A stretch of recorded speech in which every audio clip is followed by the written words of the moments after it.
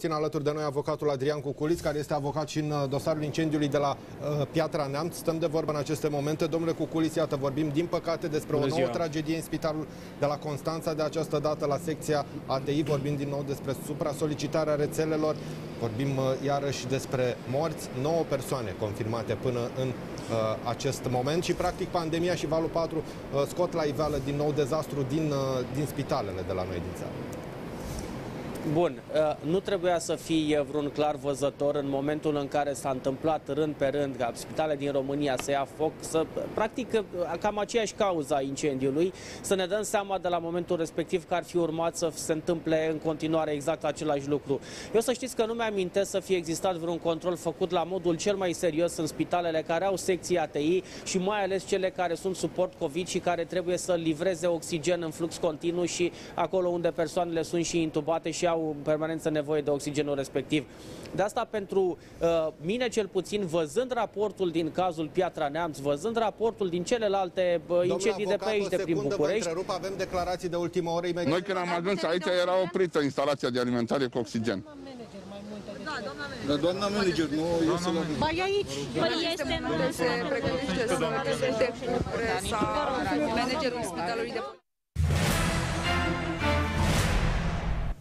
La dumneavoastră, domnule Cuculis, care este procedura în această uh, situație? Se deschide o anchetă întâi în REM, după care sunt uh, găsiți vinovați?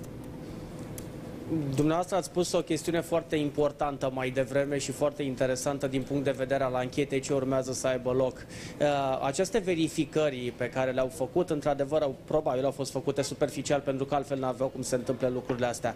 Pe partea cealaltă, dați-mi voie să vă spun, ceea ce ați spus cu privire la dotările respective, cu privire la refacerea instalațiilor, exact lucrul acesta s-a constatat și la Piatra Neamț, pentru că am termen de comparație din toate incendiile acestea pe care le-am da. văzut și suntem în dosare și ne, ne uităm practic în, în raportul de expertiză pe care îl dau experții. Și spun experții foarte clar acolo, nu s-au mai făcut uh, investiții în aceste instalații de peste 15 ani de zile. Probabil că una dintre motiv, unul dintre motivele sau una dintre cauzele care vor fi constatate și în cazul acesta de la Constanța o să fie uh, referitor și cu uh, trimitere directă către lipsa investițiilor, refacerii întregului uh, sistem uh, de transport oxigen și așa mai departe. Sigur, acum ancheta este în rem, fără doar și poate, este un dosar deschis uh, în mod oficial și din oficiu de către procurori. Practic toate părțile implicate acolo uh, vor fi audiate, victimele care au rămas în viață, familiile celor care, care au decedat acolo de asemenea și sigur foarte important,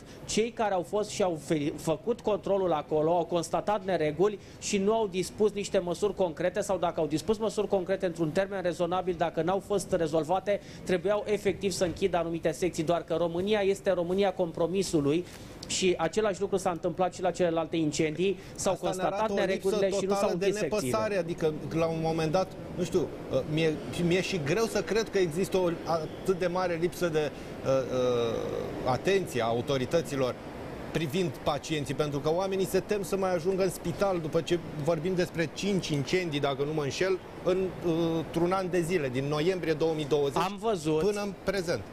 A, am văzut oameni evacuați din spitale în porbagajele mașinilor, însă nu am văzut ISU care să vină și să spună de astăzi înainte se închid porțile spitalului, urgențele pot rămâne, celelalte vor trebui relocate pentru că spitalul este pe de o parte o bombă biologică pentru că știm că sunt pline de infecții nosocomiale și pe partea cealaltă uh, o bombă la propriu pentru Bun. că am văzut... voastră, domnule Cuculis, pentru că vorbeam de procedură, urmăream ceva mai devreme imagini cu oamenii disperați care au uh, uh, sărit pe geam. Îi vedem chiar acum în aceste imagini care încearcă să se salveze. Sunt imaginile disperării categorii și uh, pentru că vorbeam ceva mai devreme de procedură, vor fi chemați acești oameni la audier să spună exact ce s-a întâmplat?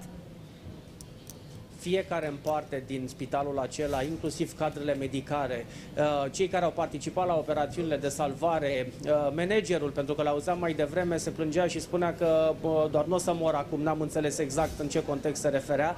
Fiecare persoană care a participat acolo și la procedura de salvare și cei care erau, bineînțeles, și acordau îngrijirile medicale pe secția ATI vor fi chemați la audieri uh, cu certitudine. Vă spun lucrul acesta din celelalte dosare și suspiciunea mea este că și acest dosar va fi preluat luat aici la București. Bun, vă pentru că întrerup deja- din nou, domnule Cuculi, să vedem uh, imagini de la spitalul, din fața spitalului de la Constanța cu oamenii care sunt revoltați, rudele pacienților